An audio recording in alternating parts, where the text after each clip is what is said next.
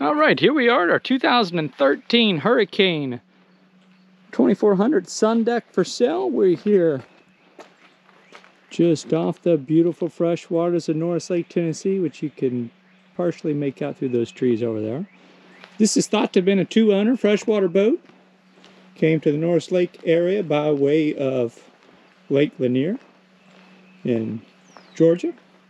We do have a bow and cockpit cover.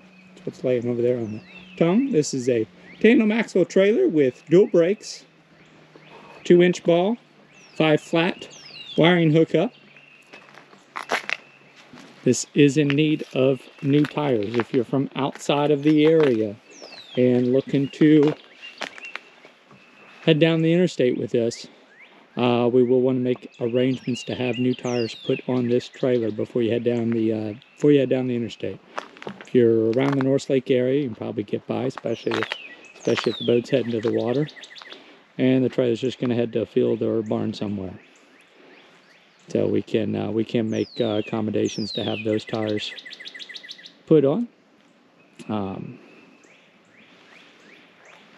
and this is uh, this is a fairly low hour boat. It's powered by a Mercruiser V8 350 mag, which is 300 horsepower. It's got a Bravo 3 dual prop outdrive.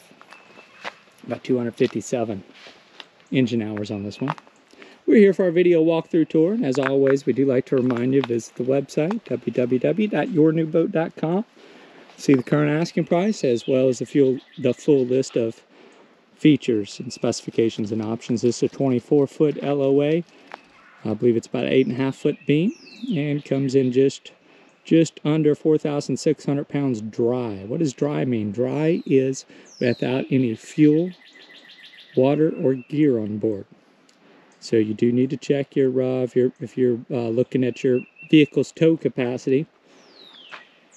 Um, you're going to want to add, add about 1,500 for the trailer and probably another um, thousand pound, well, six to eight hundred pounds for your fuel and gear on board. Uh, but again, you always want to be conservative with those numbers. So we do have a four-step swim boarding liner here at the uh, swim deck, a little integrated swim platform. Goes uh, over top of that Bravo 3 dual prop out drive. We do have a, a little uh, LED underwater light Here's your ski hook. This is for pulling your skiers and tubers. And we've got basically a little uh, convertible rear bench seat. I've got that in the seated position. I've got snap-in carpeting in the boat. Hmm. Show you what I mean here. So here's that storage underneath this seat. That will lift up. We got a small little drain in there. So if you put your uh, life jackets and ropes and other gear like that, that uh, they will will uh, drain out and then basically all it takes is a little lift up like that. This this base is going to go right that when you're in the seated position. Fold that flat. Now it's now it's a little sun lounge. We do have a bimini top overhead. We basically function tested everything we could on this one and everything appears to be working just fine. I don't think we found anything that did not work correctly on this one so I always like whenever you've got the little walk-through without having to step on these seats, and that's probably why uh, the upholstery in this one is uh, remains in good condition today. We do have some pollen here. here. This has been stored outside with the cover on, and uh, we have had some pollen make its way underneath the cover. Got a little removable lounge table, four cup holders integrated onto that.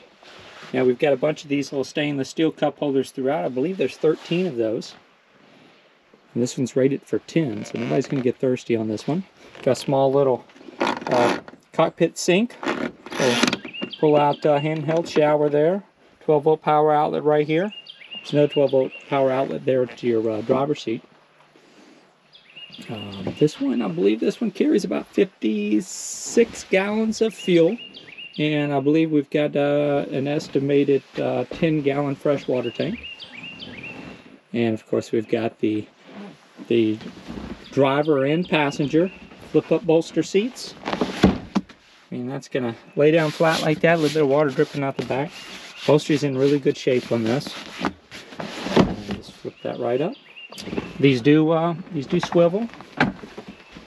Uh, same with your driver's seat here.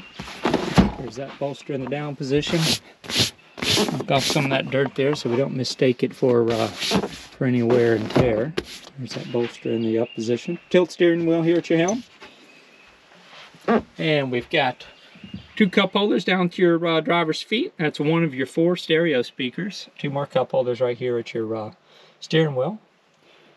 That is the stereo remote. We have a uh, Sony Marine. That is an AM FM USB auxiliary input uh, Bluetooth stereo. There's your second 12 volt power outlet right there. And we got four stereo speakers. Two back here in the uh, cockpit, two up in the bow. There's your drive trim gauge. Um, now this says for vacuum flush, so uh, there probably was an option to have an actual vacuum flush um, head installed in a little head compartment, which I'll show you here in a, in a moment. This is actually uh, your underwater light's been wired into that. Um, so your gauges here, we do have um, cluster gauge right here. That's going to show battery volts, uh, fuel capacity, engine oil pressure, and engine water temperature. Over here we've got your uh, tachometer with a uh, integrated hour meter. Turn the key so you can see that right there. 256.9 hours. So we'll call that 257. Here's your speedometer right over here, and then a working uh, depth finder. And then here's your uh, switches. Do have a functional blower. There's your uh, main switch for your stereo. Depth finder switch, freshwater pump, that's for your onboard tank. You hear that power up when we flip that right there. Uh, courtesy lights, we've got three of those um, in the interior. One right here underneath your driver's seat. One right there at the uh, steps coming in off the transom. Another one right up the uh, bottom of the steps up there in the bow. Uh, we do have a functioning bilge pump. And navigation lights all work. Your red, your green, and your anchor light. Functioning horn. And docking lights, those also functioned as well. We pretty much tested all we could on this one. You have a nice large in-floor ski locker. Let me show you this right here what we're talking about. We got some life jackets and your uh, cover pulls down in there. I would have dropped the covers down in there, but um, laid those to just dry out a little bit. Two more cup holders over here, just in front of your passenger seat. We've got a compass mounted just above your uh, head compartment. So right here, here's your little lockable head compartment. You can close that. We've got a little latch here. Can, if you're down inside of there, you can close that. Now, normally we would have a head or even a porta potty installed down here. Uh, that would have been an option, and basically nothing's been installed down here. You can easily mount a porta potty in there. Uh, you do have the stereo. Uh, that's your Sony head unit for your stereo. So that's that. Uh, Bluetooth has been added. That's basically plugged into the auxiliary uh, input. And you do have a USB uh, connection, which is this right here. So it's AM, FM, auxiliary USB, and Bluetooth. And we just have a little access right there. And little another little sink and, and also a little uh, port hatch for ventilation down there as well as a toilet tissue holder.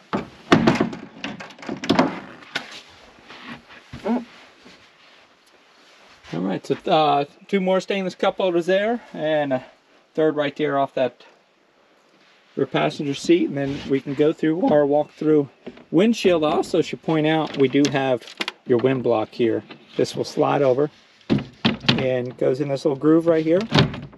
And then this is the locking mechanism. You're going to pull that up, slide it over. And now that's not going to go anywhere. So now if you close this windshield off, you've got a full wind block. That is great for those early and late season cruises. Sometimes even in the, uh, the middle of the summertime. Sometimes even in the middle of the summer. Later, early. You'll need that as well. So I showed you that uh, in-floor ski locker. Another little storage hatch right here. Lots of uh, storage in, in here. And I, I, like how that is basically kind of boxed in. So you can kind of pack that in without having to worry about something sliding around. Having a hard time fishing it out later. Um, then like I said, we do have uh, this uh, carpeting. We do have some pollen that's blown in here. And then um, this is a little wet in here from some water that was on that cover but um, everything looks to be in good shape. We've got storage integrated underneath your uh, seats up here in the bow. And I notice all these uh, um, under seat storages have low uh, integrated drains. Small little nick in the fiberglass right there. I'm going to point that out to you now. And so, um, two more stainless cup holders here. There's your uh, third and fourth uh, stereo speaker, and then two more stainless cup holders over here. Same thing, storage underneath this seat. And then basically this is a, um, a removable seat cushion right here. So if you're stepping on off the bow, you can pull that out of your way. And then this this would be where a um, where a live well uh, would be an option um, to install. Now this one does have the live well switch, but that is not an option that is uh, equipped on this boat. Uh, but the, basically that's also is going to double as a self-draining cooler in the meantime. And then we've got an anchor storage locker right here, anchor chain and rode down in there. Pop-up cleat, we've got pull-up cleats all around. Um, we've got uh, seven of those, if you count the one there for your anchor. And then a three-step swim boarding ladder up here off the bow. Docking lights up here, your navigation lights, and then here, here's one of those other six pull-out cleats. You're gonna have uh, basically two near the bow, two in the middle of the boat, and two more near the aft.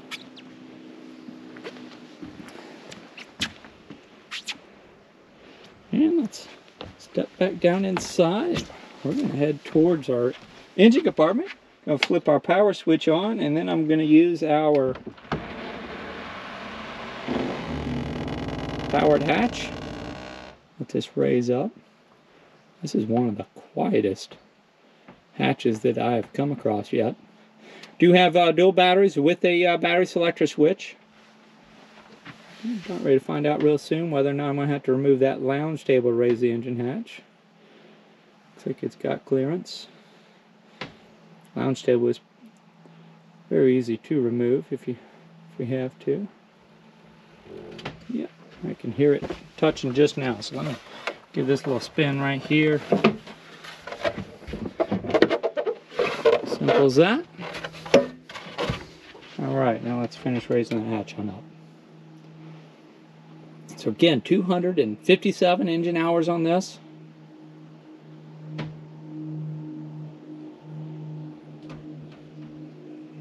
And there's that powered hatch lifted all the way up. And again, this is a Mercruiser.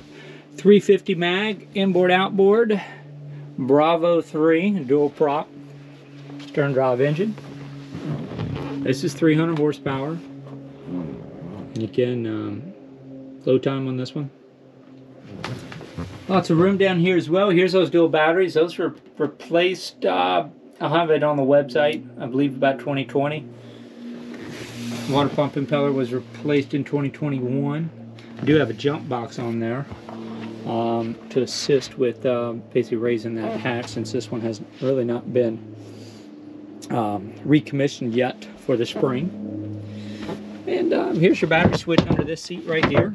Again, there's another another drain in the uh, in the locker there. It is best to alternate on your battery switch. Alternate uh, between using battery 1 and battery 2 so that they both have equal time to get recharged. Just want to show you that uh, little concealed waste bin right there. That's always always nice when you've got one that's easy to access, especially whenever you don't have to raise a raise a seat or anything like that to access it. So that's always nice. Um, so that's pretty much going to do it for the uh, for the interior. Actually, before I leave the cockpit, there was one area of a stress crack uh, right underneath the windshield right here. Just want to call your attention to that. It's kind of where we start doing the wear and tear items. Uh, upholstery all looked very good. Uh, pretty much all the way around. It's in really good shape. Pretty impressed with this. Um, oh, here we are. Thought I remembered seeing one other one other part up here on the on the uh, deck. Now this is basically just a plastic insert where your uh, blower vents are, are going to go out, but there is a little little scratch or crack onto that. I'll leave that hatch up for now. Let's go ahead and head off. And before I step off, we had a little bit of a scuff right here in the vinyl. Um, just a little bit kind of scratching into the surface. It's not um, all the way through, but it is it is kind of a uh, it did break kind of the seam on that outer edge. So I do want to call your attention to that. So, all right, let me, uh, let me step off here. Here's that Bravo 3 um, outdrive.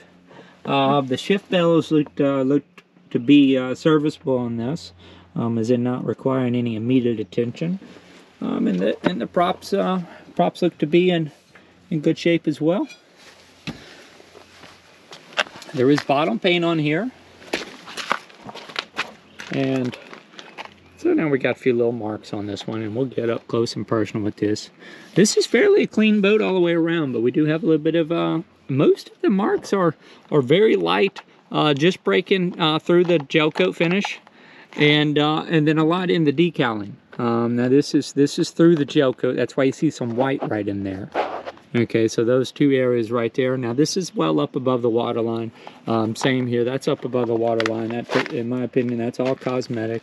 Um, really no need to uh, to dress into that. Now this, um, there's about three coats of this um, copper-free bottom paint on here, and looks like we got a little bit flaking off just back here on the back on this, um, probably this last coat. Uh, for the most part, that bottom paint all looks to be in, in good shape. Now, bottom paint, you want on a boat anytime one's sitting in the water in a wet slip and you're not on a lift or being stored on the trailer. So a little bit. Oh, you know what? I think all that's to come right off there. I wasn't sure what that was. But uh, all that little black right there is to come right off. So we can move on from it. And then we do have some marks in your decaling up here. Another small little stress crack right here at the back of this little plastic cowling um, and some marks in your decaling. So that's where your um, your blower vents from that that plastic piece was covering up. So your decaling's got some scratches in it. Um, that wasn't anything at all. And then now this is gel coat. Uh, this right here is vinyl. And that's vinyl and this tell what is what. So this is gel coat and this would be a white vinyl decal on top of it. So you get a little bit of a discolor and then I believe this uh, red stripe is vinyl. Uh, so these marks right here in this in this gray, this is not a decal here. That's actually gel coat. That's just barely through the gel coat. Another marks in your decaling up here and that one's going to be down into the gel coat. Um, same thing up here. So we've got kind of this, uh, probably would call this a stone a um, little bit of mark in the gel coat of that stone and then this is going through a vinyl decal but all this kind of in this gray. That is um, that's actually the gel coat of the boat. It's another good little mark right here. Fingers catching edge in that so that's not going anywhere. Um, and then you can tell this white and the red that's definitely vinyl the way that's peeling up right there. Small little scuff right there. That might go away with a good detail. And then we've got a little bit more of a darker gray accent vinyl striping. It's a few marks in it. And then here's, uh, it's down into the gel coat a little bit. And following that line up. And then this where we got some dock rash up here near the, uh, near your Tennessee decaling. Some marks in that. That's in the vinyl. So again, none of this vinyl you really want to worry about. Uh, looks worse than it is. Now that is through the gel coat and then, and then this, these marks up here. That's all kind of into the gel coat. Now, some of this is like a surface scratch because my fingernails, well, maybe it is catching a little bit of an edge right there. Really good uh, professional detailer can sometimes buff a lot of that out. And then a few more marks keep coming around the bow area. Um, this again, that's all in the kind of the vinyl striping. Um, that is in your gel coat, that little bit of a scratch right there coming on around. So again, that's why I say most of this is worse than, than it really is. And now this area, that's into the gel coat.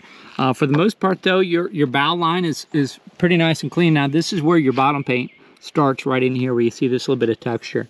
Okay, so again, um, bottom paint's great if you're leaving the boat in the water because that's gonna protect the hull from getting blisters on it. Um, that's why people do it. Um, so this one obviously would have been stored in the water and that's why they opted to put the bottom paint on there. So that is what you want to do. Um, now I don't think we, I showed you this uh, marks in this white in this area right here. So we got a few little marks in here. That's just through the gel coat. Um, and then same in here, a little bit of, of dock rash right in the white through here. And of course, we'll have photographs of this the website too. So uh, we will have a direct link to this listing uh, just below the video tour here. All you got to do is scroll down to that written description. There'll be a direct link that will take you uh, to our website with this uh, listing. So um, if you copy and paste or click on that link, it's going to take you right to our photo slideshow page. And we do the slideshow page much like the video. You're gonna have a walk around of photographs, uh, the interior shots, the engine room, and then we're gonna go into wear and tear areas. So basically just about every every area that I'm showing you in the video, there'll also be a photograph of. But again, most of that's going to look worse than it is. Now that is into the gel coat. Again, this is just your vinyl striping. It's got some marks in it.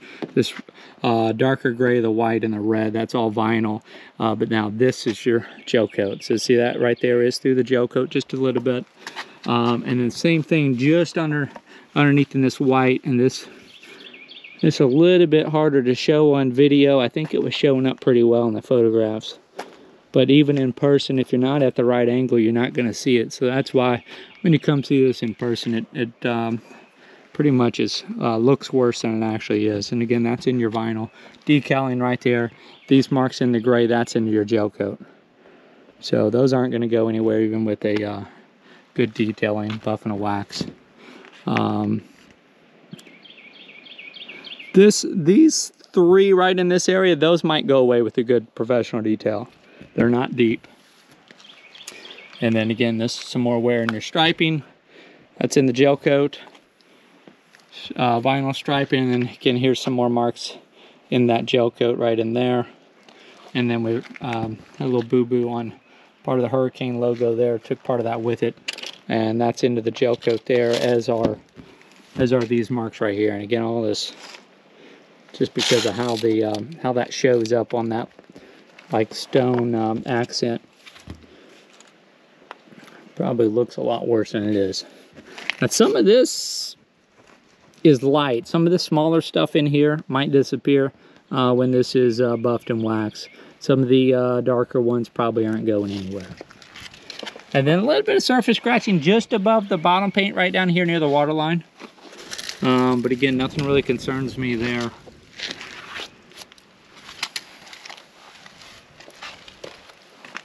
That's down the gel coat a little bit there on that, where that end would be.